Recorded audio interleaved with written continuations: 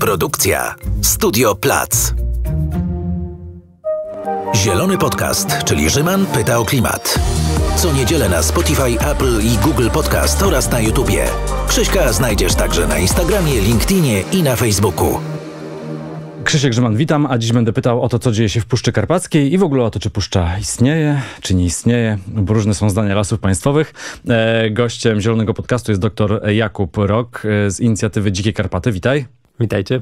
E, I z Centrum Europejskich Studiów Regionalnych i Lokalnych Eurorek na Uniwersytecie Warszawskim. E, bez pomyłki. E, powiedz proszę, bo byłeś tydzień temu w Puszczy Karpackiej. Co się dzieje? Kwitną geofity, więc jest naprawdę bardzo ładny moment. Drzewa jeszcze nie mają liści, ale czuć już ożywienie na dnie lasu. Są salamandry plamiste, są traszki, jest skrzek. I gdybym tylko na tym mógł poprzestać, to byłby to... to sielsko, tak, sielsko byłby, byłby to bardzo dobry obraz. Natomiast niestety jest też ta warstwa gospodarki leśnej, e, która po prostu sprawia, że ten najcenniejszy górski las, jaki nam w Polsce został, jest eksploatowany na potęgę i znika w oczach. Czyli lasy państwowe rżną i rżną nie byle jakie drzewa. Niestety, tak. No w, tym, w tym roku, co, co, roku mamy jakieś swoje znaleziska. W tym roku e, znaleźliśmy właśnie niedawno jodłę wyciętą, która miała obwód 380 e, cm. No naprawdę wyobraźcie sobie, że to są no potrzeba trzech y, dorosłych osób, żeby objąć takie drzewo. Właśnie próbowałem sobie zwizualizować, ile, jaki tak, wzrost to w ramion. No to jest y, trudno, trudno uwierzyć, że, że fakt, że, że takie, takie drzewa są skarbami naszymi, nie? I że one budzą podziw, one mają taki swój naturalny majestat, ale mają też wartość rynkową, chociaż nie taką znowu wysoką, pewnie parę tysięcy złotych yy, i dlatego są wycinane. A ile takich drzew się wycina teraz w Puszczy Karpackiej? Bo to są drzewa pomnikowe, tak? To, to, to jest tak, tutaj te, prawidłowa nazwa. Mm, przykład tej jodły to jest y, właśnie przykład drzewa o wymiarach y, pomnika przyrody.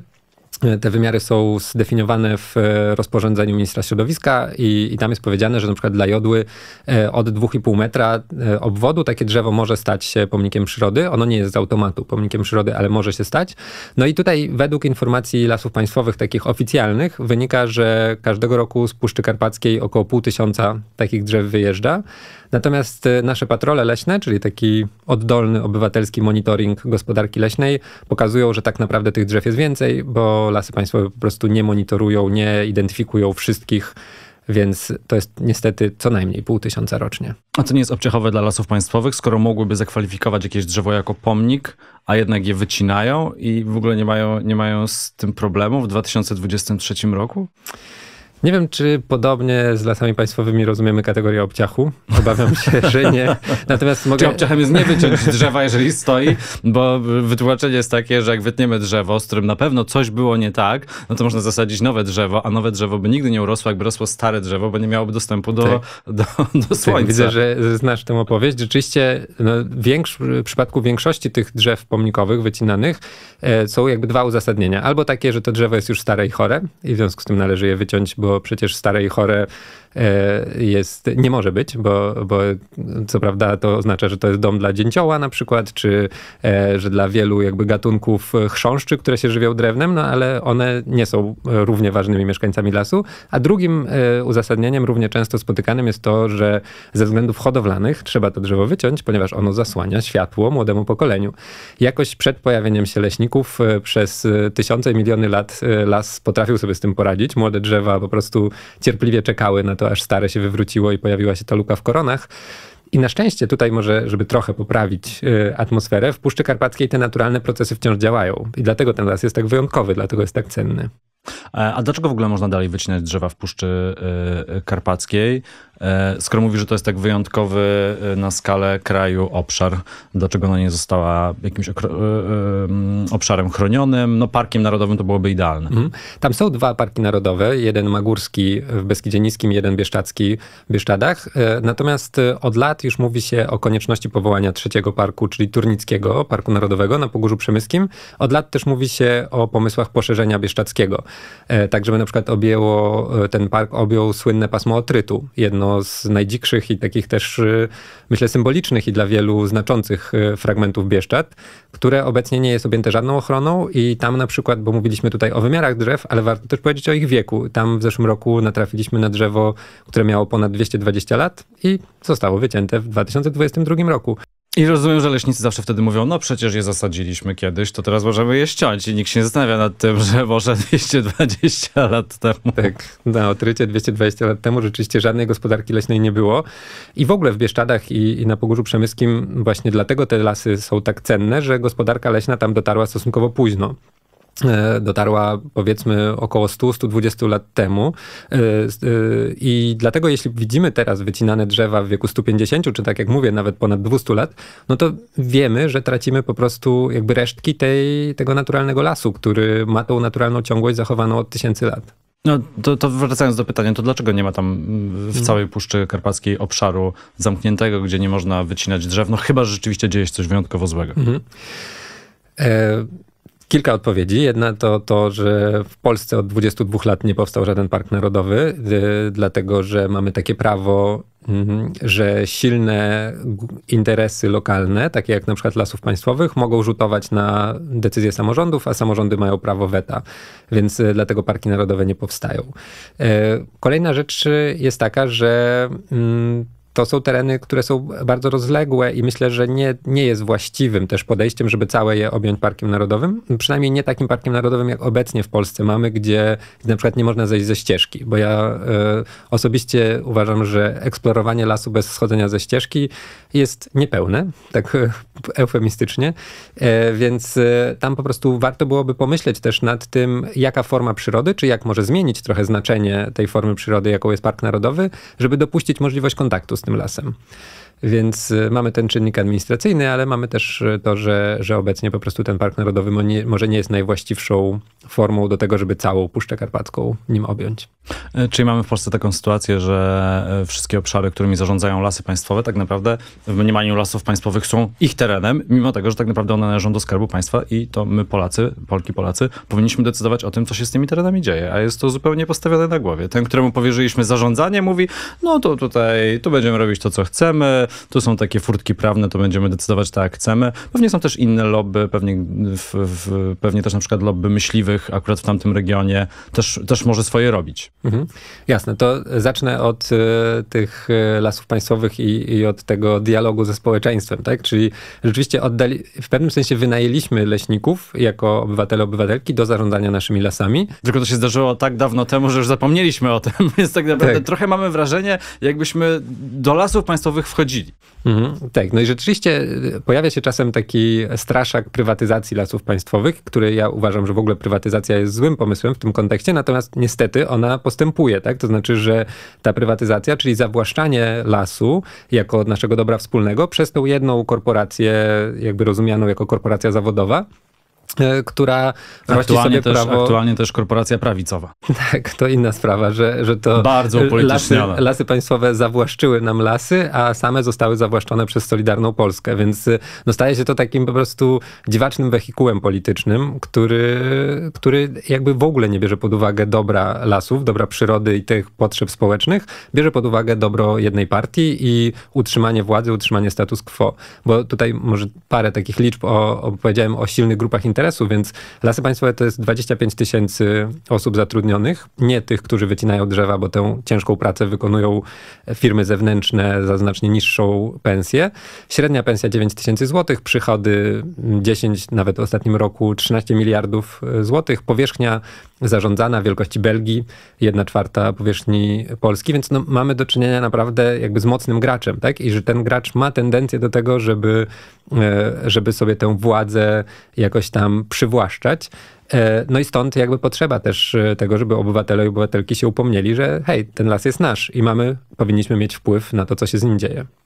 E, jest petycja, którą można podpisać, ale tak sobie myślę, szczególnie w tym roku, e, wróciłem też z takim niezłym rage'em z wakacji e, w tym, w tym roku, że chyba jak w czasie wyborów nic się nie zmieni, to się nic nie zmieni w relacjach z lasami państwowymi. Wiem, że to jest dość, dość smutne, mhm. ale jest wiele obszarów w Polsce tak upolitycznionych aktualnie i gdzieś te umysły są tak zamknięte w tym momencie, że mimo tego, że pewnie nawet w lasach państwowych są ludzie, którzy rozumieją argumenty, ale decyzje zapadają gdzie indziej, czy podejmuje je ktoś hmm. inny i już.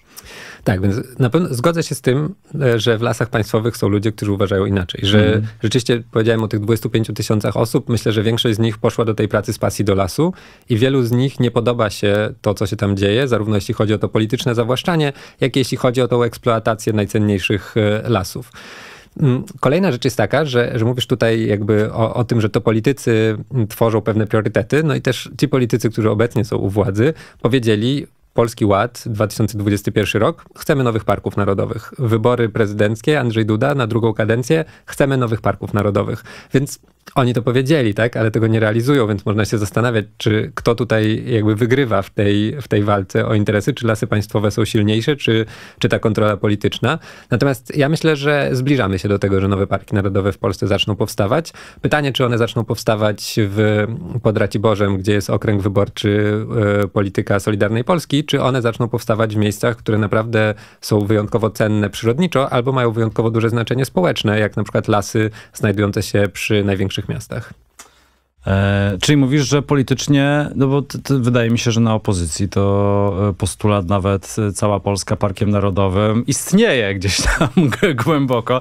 Może nie wszyscy by się pod nim podpisali, szczególnie w różnych okręgach wyborczych, bo wiadomo, inne rzeczy się mówi na poziomie kraju, a inne rzeczy, jak później trzeba mhm. porozmawiać ze swoimi e, potencjalnymi wyborcami e, lokalnie. Czyli generalnie politycznie nawet zgoda by na to była poza Solidarną Polską.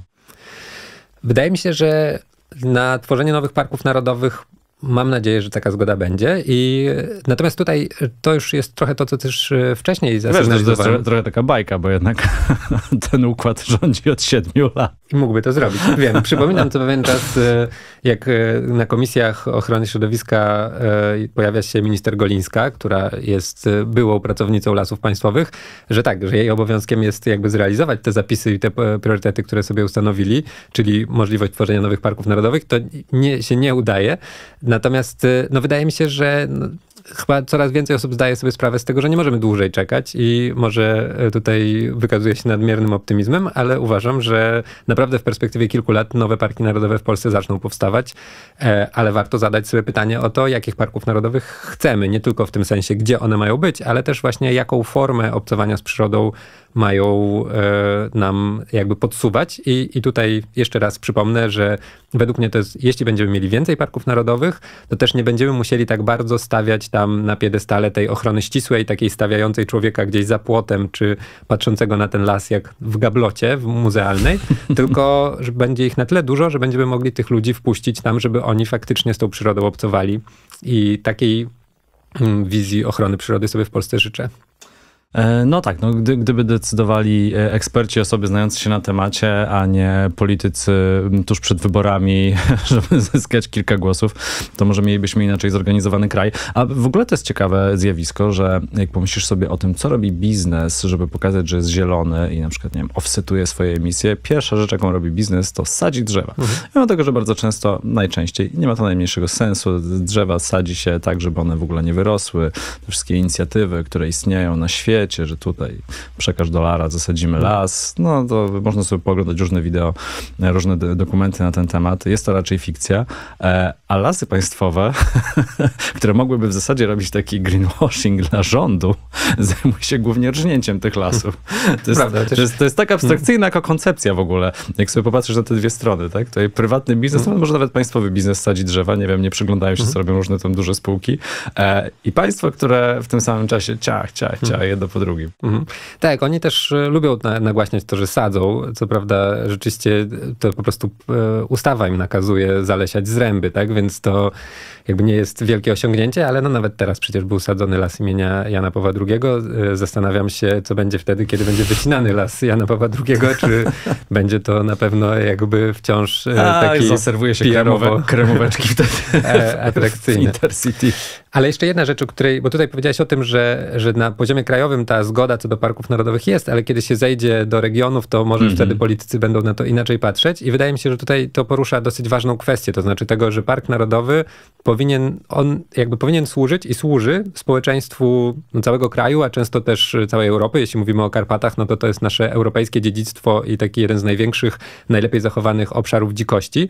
E, I że teraz mm, to jest ważne przy parkach narodowych, żeby ta odpowiedzialność czy te koszty ochrony nie spadały na te społeczności, które są tam na miejscu, tak? Czyli żebyśmy my jako społeczeństwo, które będzie korzystać z tego, że ten las jest chroniony, byli gotowi i były gotowe na to, żeby ponieść też częściowo tego koszty, ponieść odpowiedzialność, czyli po prostu e, zastosować tutaj tę znaną z e, dziedziny węglowej zasadę sprawiedliwej transformacji. Nie? I że to mi się wydaje ważne i tutaj jest dużo do zrobienia na tym polu, chociażby... A to, a to dzisiaj tak nie, nie funkcjonuje? Nie. No myślałem, że skoro park narodowy, no to jak z Muzeum Narodowym, mhm. to nie, że miasto stołeczne Warszawa musi utrzymać Muzeum mhm. Narodowe, tylko z budżetu. Tak, parki narodowe są utrzymane utrzymywane z budżetu, natomiast y, to jest y, taka powiedzmy kroplówka pozwalająca przeżyć, ale nie pozwalająca się rozwinąć. Tak? Znaczy, jeśli spojrzymy na pensje, chociażby y, osoby pracujące w parkach narodowych to jest podobne kompetencje, często podobna ścieżka zawodowa jak osoby pracujące w lasach państwowych. I ale, połowa pensji. No, nawet gorzej. O. Do niedawna jedna trzecia, a teraz po mm, protestach związków zawodowych i podwyżkach, no tak może ta różnica jest 2-2,5 krotna. E, ale też z poziomu gminy na przykład e, lasy, które wchodzą w e, skład Parku Narodowego przynoszą niższe wpływy podatkowe do budżetu gminy niż lasy, które nie są w Parku Narodowym. Co jest pewnym absurdem, tak? No bo przecież po to chronimy te lasy, żeby, żeby tam jakby wykluczyć też tą prymat funkcji gospodarczej, czyli zmniejszamy możliwość jakby zarobkowania na tych lasach w oparciu o ich takie najbardziej prostą eksploatację. Oczywiście można korzystać z turystyki, to jest też jakby dużym potencjałem, ale no warto tę gminę wspierać, jeśli ona jakby w pewnym sensie rezygnuje z czegoś, żebyśmy my wszyscy mogli z tego korzystać.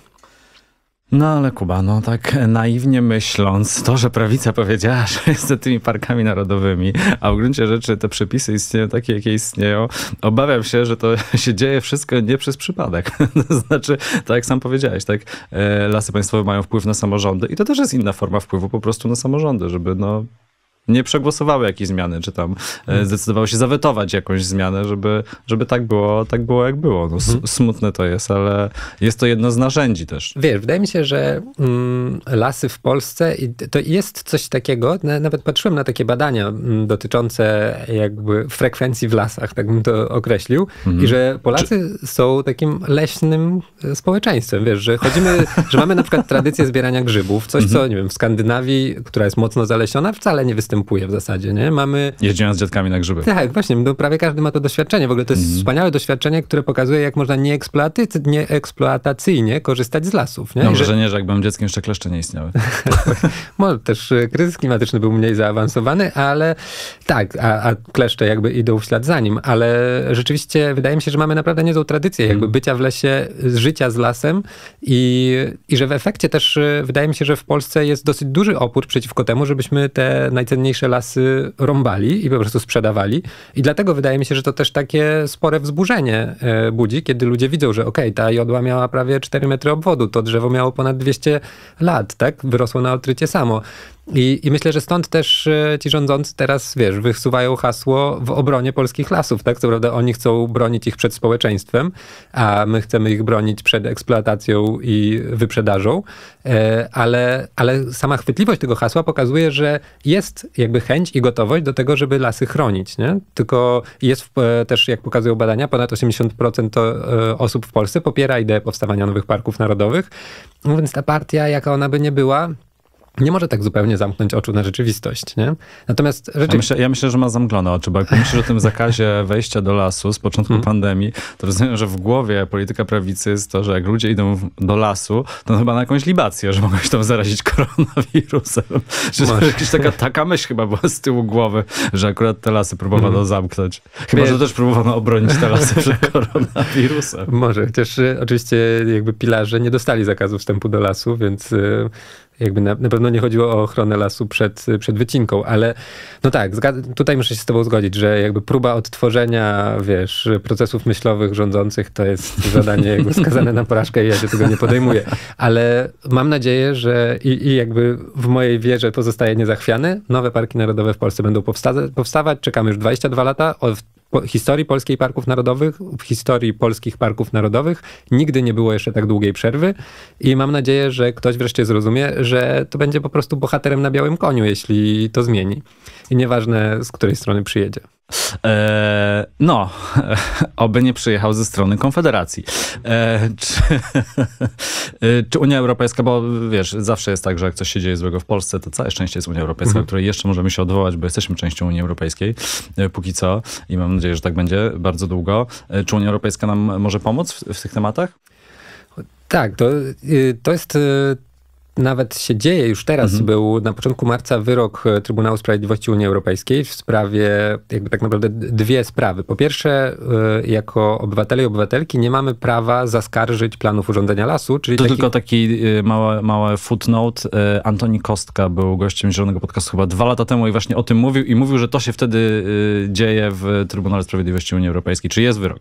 Tak, tak, jest wyrok. Ta, ta sprawa rzeczywiście się ciągnęła długo, więc też na ten wyrok długo żeśmy e, czekali. E, ale tak, on przyszedł i on przyszedł w takiej postaci korzystnej dla społeczeństwa i dla lasów w Polsce. Czyli po pierwsze, e, powinniśmy coś zrobić z naszym systemem prawnym tak, żeby dokumenty, które decydują o tym, co się będzie działo z lasem, mogły być zaskarżane w sądach, bo teraz nie mogą być. I druga rzecz, że powinniśmy coś zrobić z naszą ustawą o lasach, tak żeby ona nie zwalniała, mm, czy jakby ustawami też dotyczącymi ochrony przyrody, żeby nie było takiej sytuacji, jak jest obecnie, że lasy państwowe, prowadząc gospodarkę leśną, są zwolnione z wymogów ochrony gatunkowej. To znaczy, że mogą powiedzieć, że okej, okay, no w sumie to jest chroniony gatunek i chronione gatunki należy chronić, ale my akurat musimy ściąć to drzewo. Sorry.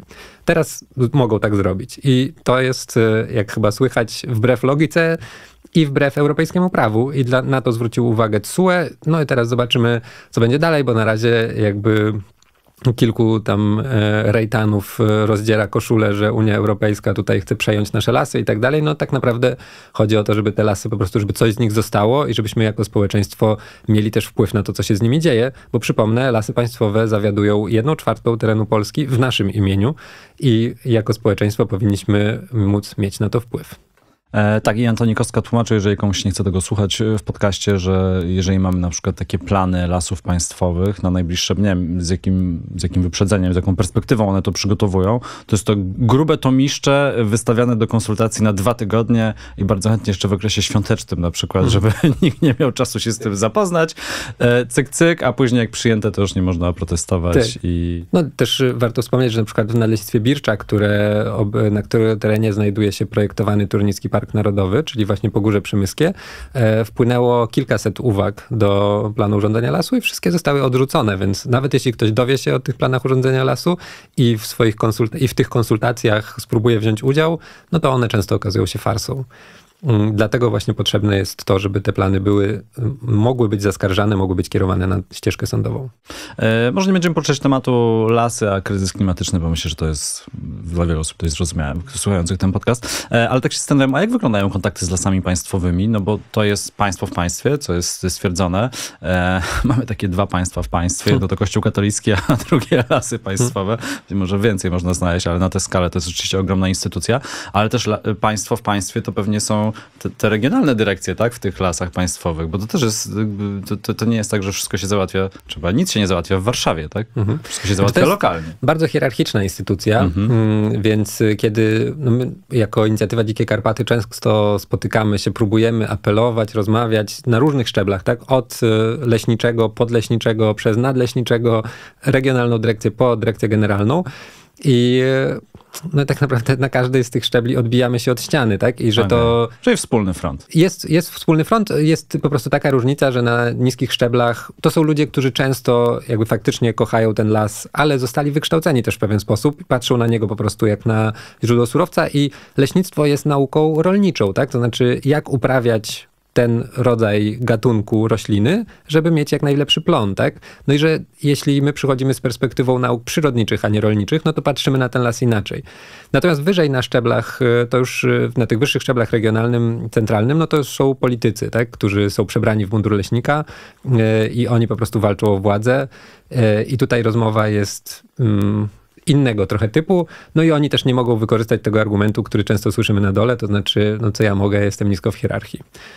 Ja, ja naiwnie myślałem, że to jest trochę inaczej skonstruowane, no ale w sumie to wszystko pasuje do tego konserwatywnego spojrzenia na świat. Wszystko hierarchiczne, decyzje ostatecznie musi być przyklepane na samej górze e, przez e, osobę e, w mundurze, czy się do tego nadaje, czy nie. Powiedz trochę o inicjatywie Dzikie Karpaty, która działa od 2018 roku. Jak sobie działacie? Ile osób jest zaangażowanych? Hmm. Myślę, że to dla słuchaczy jest bardzo ciekawe. Szczególnie jak te nowe ruchy też powstają, nowe inicjatywy, jak to funkcjonuje przez tyle lat to, mhm. to, to, to, to robi wrażenie. Tak. To jesteśmy oddolnym ruchem społecznym, który powstał po prostu jako reakcja na to, że, że coś niedobrego się dzieje z lasem, który jest nam bliski z różnych powodów. E, I... A tobie dlaczego jest bliski, skoro tutaj hmm. siedzisz w Warszawie w studiu? Widzisz, miałem to szczęście, że, że jeździłem na wycieczki szkolne w Bieszczady, e, więc to było dawno temu, 20 lat temu mniej więcej. I, I wtedy jakby zakochałem się w tym lesie, wiesz, mieszkałem w szałasie, oglądałem tropy niedźwiedzi, piłem wodę ze strumienia górskiego. Bardzo odmienne doświadczenie od doświadczenia mazowieckiego. Nie polecam pić wód, z, nie polecam pić wody ze strumieni spotkanych na Mazowszu.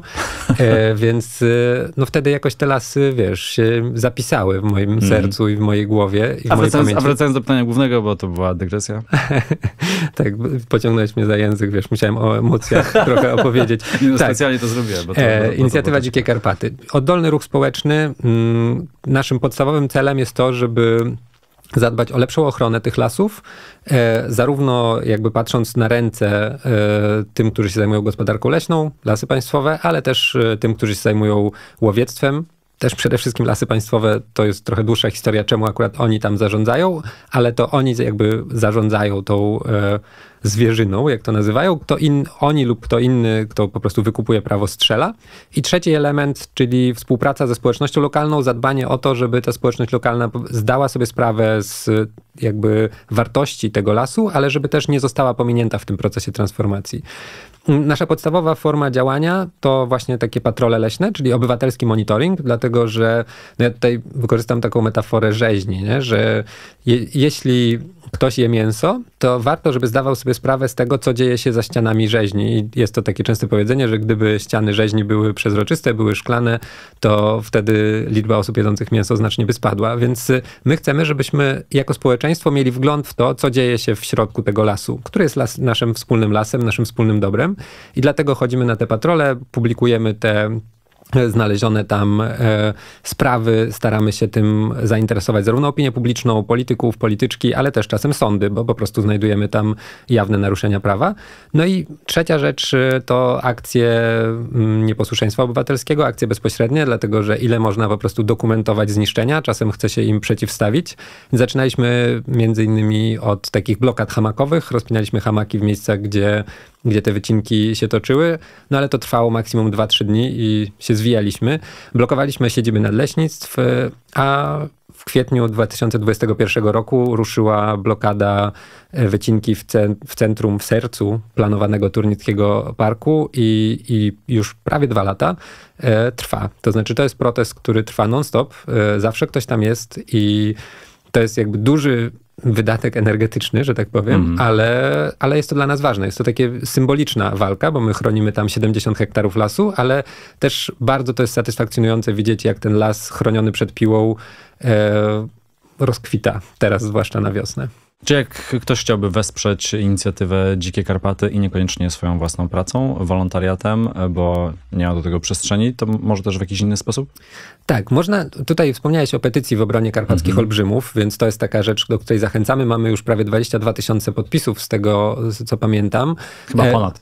A może ponad. To szybko się zmienia. E, więc no tak, liczymy, że pokazanie lasom państwowym tej e, jakby masy, która się temu sprzeciwia, ma, ma szansę jakoś tam e, wzbudzić reakcję.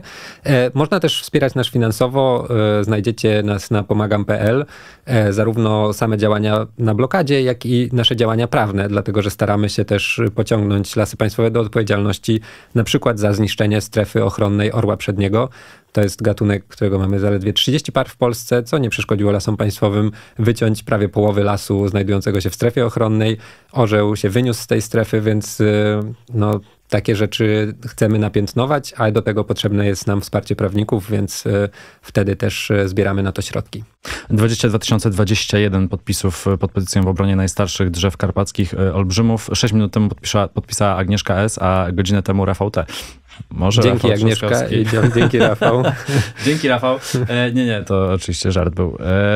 E, to jeszcze jedno pytanie na koniec, bo wspomniałeś o tej sprawiedliwej transformacji obszarów przyrodniczo-cennych i tak jak w przypadku transformacji energetycznej, e, tak się stało w Polsce, że na przykład górnicy stoją po stronie transformacji, a nie obrony coraz częściej, tak? Szczególnie już emerytowani górnicy, którzy mówią, no tak, no ten zawód nie ma przyszłości, zróbmy tę transformację dobrze przygotowaną, sprawiedliwą, a nie na dziko i rozumiem, że jak rozmawiacie na przykład z mieszkańcami, no to, to, to, to super, oni mogą zmienić zdanie, a wyobrażasz sobie taki scenariusz, w którym na przykład leśnicy albo byli leśnicy stoją po stronie, tak, musimy zrobić zmianę, czy to lobby e, przez to, że jest i ta hierarchia i jednak ta organizacja taka silna, że nawet jeżeli ktoś sobie tak po cichu gdzieś tam myśli, że macie rację, to jednak nigdy tego głośno nie powie. Mhm. Wyobrażasz sobie taką zmianę?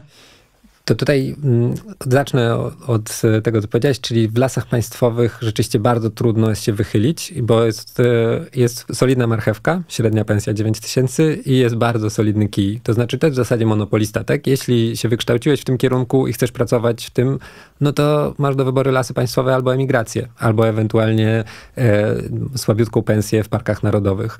Więc e, no nie spodziewam się, żeby taki duży impuls do zmiany przyszedł z samych lasów państwowych, ale mam nadzieję, że wraz z tym, jak te lasy państwowe coraz bardziej absurdalny sposób stają się wehikułem tej solidarnej Polski, no to tym więcej leśników będzie po prostu zdegustowanych tym, w jaką stronę to idzie i jednak będzie chciało się przeciwko temu jakoś opowiedzieć. Natomiast jedna grupa, o której jeszcze nie wspomnieliśmy, a do której tak naprawdę najbardziej jest kierowany ten e, jakby ten e, postulat sprawiedliwej transformacji, czy wobec której e, to jest e, grupa pilarzy, czyli tych robotników fizycznych, których w Polsce mamy pewnie około 40-50 tysięcy, którzy faktycznie pracują przy wycince lasów. Natomiast w przeciwieństwie do górników, którzy po prostu kopalnie węgla muszą zostać zamknięte, no to tutaj nie jest tak, że przestaniemy wycinać drewno, ale po prostu w niektórych miejscach to znacząco ograniczymy ze względu na przyrodniczą czy społeczną wartość tych miejsc. I to nad tą grupą powinniśmy się pochylić w tym mhm. sensie, żeby też z tymi osobami rozmawiać. I to jest o tyle trudniejsze niż w przypadku górników, że to są w zdecydowanej większości bardzo małe przedsiębiorstwa i one nie są uzwiązkowione. Więc y, trudniej trochę dotrzeć do jakichś reprezentantów tej grupy. Natomiast y, my prowadzimy takie rozmowy zarówno na takim poziomie po prostu spotkaliśmy się w lesie, więc gadamy, ale też na takim poziomie trochę wyższym i widzimy, że, że są tutaj jakby zbieżne punkty, tak? Chociażby takim zbieżnym punktem jest pytanie o przyszłość. To znaczy bardzo niewielu pilarzy y, ma taką wizję, że tak, chciałbym, żeby moje moje dzieci, mój syn pracował w tym samym zawodzie. Aż ostatnie drzewo w Polsce wytniemy. Nawet nie dlatego, wiesz, nie tylko no. dlatego, że, że to jest bardzo ciężki, niewdzięczny zawód, bardzo niskopłatny i bardzo niebezpieczny. To jest y, rok rocznie mm. 20 osób ginie w y, polskich wow. lasach, dlatego że po prostu są zmuszeni oszczędzać na BHP, bo lasy państwowe wybierają najtańszą ofertę, a najtańsza oferta oznacza, że ktoś musi za to zapłacić, tak? I płacą za to życiem czy zdrowiem y, pracownicy tych zakładów usług leśnych. Więc y, ta sytuacja wymaga zmiany i, i to wydaje mi się powinno być też e, takim właśnie punktem zainteresowania. Jeśli mówimy, tak, obejmijmy 10% lasów w Polsce ochroną, wyłączmy je z wykorzystania gospodarczego, to dopowiedzmy od razu i mamy program dla tych ludzi, którzy obecnie w tym lesie pracują. I nie, nie mówmy o leśnikach tak bardzo, bo oni w ramach lasów państwowych po prostu zostaną przesunięci do innego miejsca Mówmy o pilarzach, którzy tę pracę rzeczywiście mogą stracić. I mówmy o tym, że parki narodowe powinny być bardziej dofinansowane i powinny zapewniać lepsze miejsce pracy, tak żeby leśnicy, którzy ewentualnie zmienią to miejsce zatrudnienia, przesiądą się ze stołka w lasach na stołek w parku narodowym, nie odczuwali tego jako degradacji. Albo jeszcze ewentualnie w Krusie, to też jest taka dobra przechowalnia polityczna, przepraszam, musiałem to powiedzieć. Ale koniec żartów. Dziękuję bardzo za bardzo poważną rozmowę. Doktor Jakub Rok z inicjatywy Dzikie Karpaty i z Centrum Europejskich Studiów Regionalnych i Lokalnych Eurorek na Uniwersytecie Warszawskim. Był gościem Zielonego Podcastu. Bardzo dziękuję za rozmowę. Dzięki. A Zielony Podcast teraz także do zobaczenia na YouTubie i na Spotify. To był Zielony Podcast, czyli Rzyman pyta o klimat. Co niedzielę na Spotify, Apple i Google Podcast oraz na YouTubie. Pamiętaj, żeby subskrybować kanał. Nie przegapisz żadnego odcinka.